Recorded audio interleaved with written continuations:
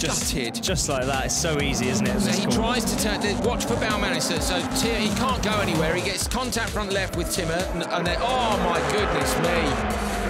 Now the only thing I would say here, Dan, is that the roll itself was in the gravel trap, and so I, if the roll cage is still oh, the first hit was There was a big contact on the front, Front right, right top as he went corner. over. Yeah. Watch the clock, here we go.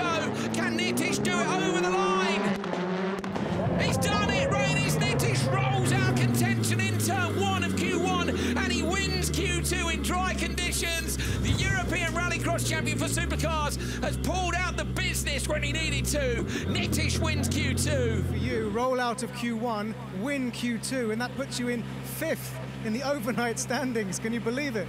fifth. Okay, that that surprised. Now I can smile at it. But yeah, it's it's tough, tough day, uh, tough start of the day.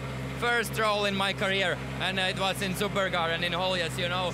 Thank you so much for the boys who've been working all the all the free time between Q1 and Q2, fixing the car. You see small scratches, but uh, but everything else is fixed. Thank you so much for the team.